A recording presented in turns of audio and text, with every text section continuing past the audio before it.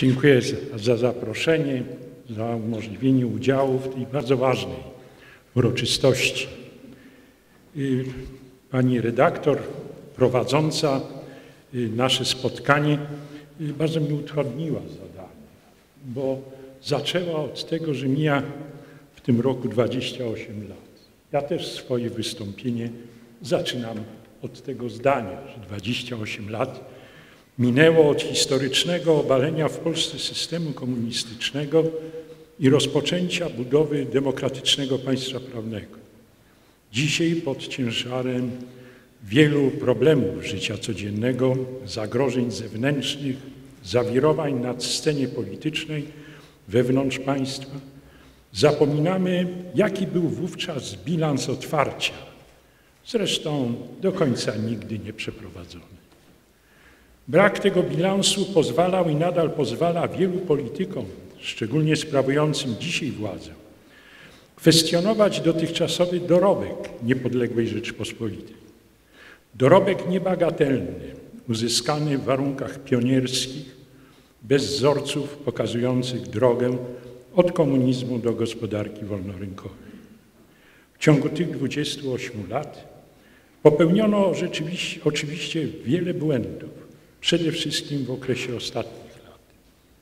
Uważam jednak, że w przyszłości osoba z, dystans, dystansem i bez politycznego obciążenia badająca ten okres uzna, że należał on do jednych z najbardziej twórczych w historii Polski. Okres, w którym Polska dokonała nieosiągalnego dotąd zbliżenia cywilizacyjnego z krajami zachodniej Europy. W ostatnich latach niestety to zbliżenie cywilizacyjne oddali, oddali, oddali, oddaliliśmy. Pytanie powstaje następujące. Czy ten badacz będzie w stanie odtworzyć rzeczywistą historię Polski naszego okresu? Czy odtworzy jedynie wzajemne, wykluczające się mity tworzone przez reprezentantów zwaśnionych sobą grup? Zwrócił na to uwagę Robert Krasowski, publikując biografię Lecha Wałęsy i natrafiając na nieprzezwyciężalne trudności z dotarciem do faktów i ich interpretacji. Podział polityczny Polaków, a w szczególności jego skala i intensywność stwarzają dzisiaj zagrożenie dla rozwoju Polski, w przyszłości wręcz dla naszej suwerenności. Można dzisiaj śmiało stwierdzić, że jednym z podstawowych zadań polskiej transformacji było odbudowanie społeczeństwa obywatelskiego, odbudowa znaczenia wartości obywatelskich, przywrócenia niejako naturalnych więzi międzyludzkich, zlikwidowanie podziałów politycznych rodzących wzajemną nienawiść i brak tolerancji dla innych, prezentujących odmienny punkt widzenia na sprawy, ustaw, na sprawy ważne dla Polski. Ten podstawowy cel nie został w minionym okresie 28 lat osiągnięty. Tylko przywrócenie więzi społecznych gwarantować może powrót do stabilnego, demokratycznego państwa prawnego i pełne gwarancje dla przestrzegania praw człowieka i obywatela przez władzę publiczną. Dzisiaj możemy zaobserwować wiele zasadniczych niekonsekwencji w życiu społecznym. Można nic nie, nie, jest to już tylko spuścizna komunizmu, chociaż cechy tamtego ustroju są przez wiele osób dzisiaj czynnych w życiu politycznym dostrzegane i świadomie przedłużane. Z drugiej strony wiele grup widzi potrzebę odbudowy zjawisk osiąganych w szybkim tempie po 1989 roku i likwidowanych po wyborach z października z 2015 roku. Już w 1993 roku ksiądz profesor Józef Tischner W pierwszym zdaniu otwierającym zbiór esejów pod znamiennym tytułem Nieszczęsny dar wolności pytał, czy nie stajemy się dzisiaj ofiarami nowego, nieznanego nam dotąd lęku, lęku przed wolnością.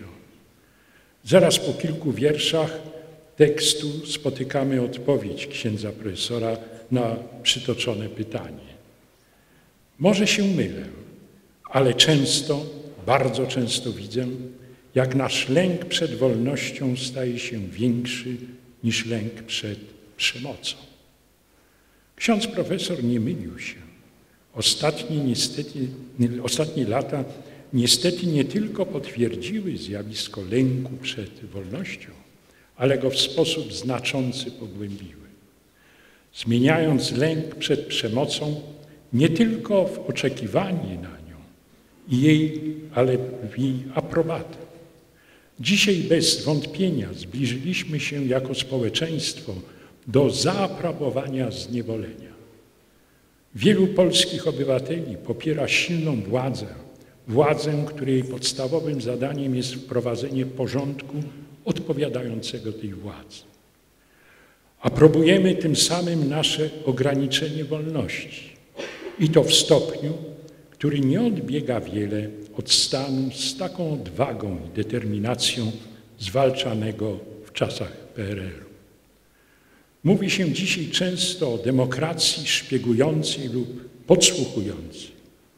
Władza jednoznacznie odrzuca próbowanie demokracji liberalnej. Wiele nasz, naszych współobywateli lęka się wolności liberalnej. Trzeba sobie uświadomić, że popieranie tzw. Tak demokracji nieliberalnej jest czymś złudnym. Takiej demokracji po prostu nie ma. Zastanówmy się chwilę nad źródłami lęku przed wolnością. Wolność, szczególnie w naszym narodzie, była przecież postrzegana zawsze jako najwyższa wartość. To prawda, że w większym stopniu wartość ta była utożsamiana z niepodległością, a więc z wolnością zbiorową jako narodu i możliwości suwerennego tworzenia państwa. Ale w szczególności po II wojnie światowej coraz silniej występowało żądanie przywrócenia wolności jednostce. Powstanie Solidarności w 1980 roku poza jednoznacznym nurtem niepodległościowym związane było już wyraźnie z walką o wolność i prawa człowieka, jako wynikające z jego przyrodzonej, niezbywalnej wolności, godności. Dążeniem do odzyskania wolności indywidualnej i poszanowania praw jednostki nie towarzyszyła w dostatecznym mierze dążność do pogłębienia w społeczeństwie świadomości poszczególnych osób troski o dobro wspólne. Odzyskaniu w 1989 roku wolności nie towarzyszyło uświadomienie sobie odpowiedzialności za dobro wspólnoty, w której się żyje, nieograniczonej jedynie do rodziny, za dobro swojej miejscowości, gminy, małej ojczyzny, za dobro Polski i Europy. W zbyt małym stopniu nastąpiło skojarzenie wolności z odpowiedzialnością praw człowieka i obywatela z jego obowiązkami wobec drugiego człowieka i wobec wspólnoty. Lęk przed wolnością to w, istocie rzeczy lęk, lęk przed odpowiedzialnością. To chęć ograniczenia, pozbycia się dużej części odpowiedzialności. Musimy jednak zrozumieć, że między wolnością i odpowiedzialnością musi zachodzić równowaga a raczej występuje sprzężenie zwrotne. Im więcej wolności, tym więcej odpowiedzialności i odwrotnie.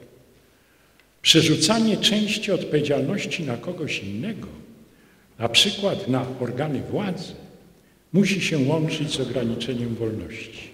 Nie udało się tym grupom społecznym, które z tak wielkim sukcesem uzyskały po 1989 roku wolność polityczną i indywidualną uświadomić członkom społeczeństwa tej ścisłej zależności pomiędzy wolnością i odpowiedzialnością.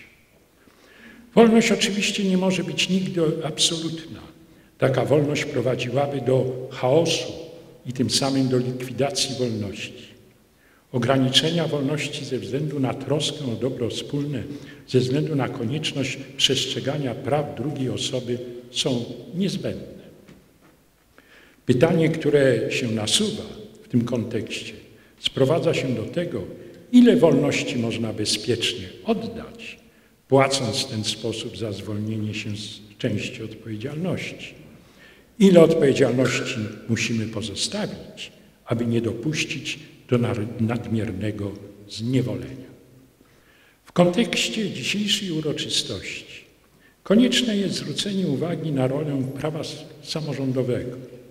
W artykule 87 ustęp 2 Konstytucji stanowi, ten artykuł 82 ustęp 2 stanowi, że źródłami powszechnie obowiązującego prawa Rzeczpospolitej Polskiej są na obszarze działania organów, które je ustanowiły, akta, akty prawa miejscowego.